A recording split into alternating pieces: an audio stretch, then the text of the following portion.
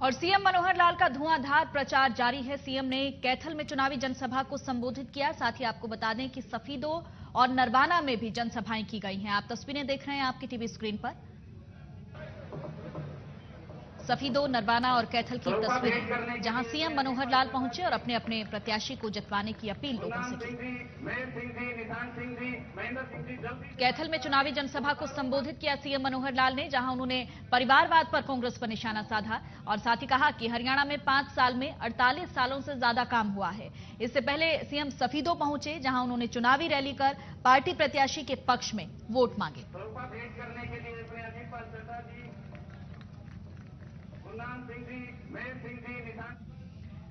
और कैथल की रैली में सीएम मनोहर लाल ने परिवारवाद को लेकर विरोधियों पर हमला बोला है। शुरू में सरकार आई तो जब नौकरियाँ लगने की बात आई बहुत से नेता बड़े फख्र से कहते थे मैंने अपनी कॉन्स्टिट्यूंसी में सौ लोग लगवा लिए मैंने डेढ़ सौ लगवा लिए मैंने दो सौ लगवा लिए। इसका मतलब लगवाने में तुम्हारी चलती थी।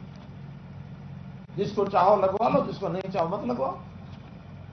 हमने कहा गलत है।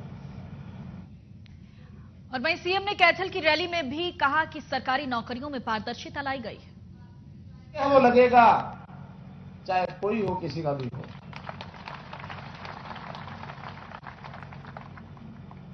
और भाई मेरे तेरे की अगर बात करनी है आज तो मेरे कई बने हुए हैं पहले से उनमें से लगवाओ।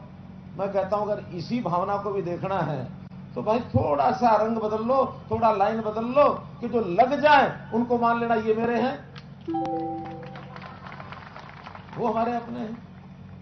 क्योंकि सारा प्रदेश हमारा है, सारा समाज हमारा है, ये सरकार केवल हमारी जिन्होंने बनाई है उनकी नहीं है।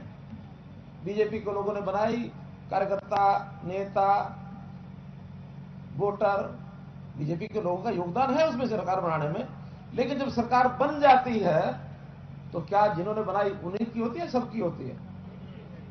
अच्छी सरकार कौन सी होती है जो सब और जींद के सफीदों में सीएम ने जनसभा को संबोधित किया है। इस दौरान सीएम मनोहर लाल ने पीएम के ना खाऊँगा ना खाने दूँगा वाले नारे पर अपनी बात जोड़ी। सीएम ने भ्रष्टाचार को लेकर विरोधियों पर कैसे निशाना साधा है आप भी सुनिए। दूसरा उन्होंने कहा था ना खाऊँगा आगे ना खाने दूँगा। हमने तो और भी एक बात कही है, न खाएँगे, न खाने देंगे, और गलत ढंग से जो खाया पिया है, उसको भी निकालेंगे।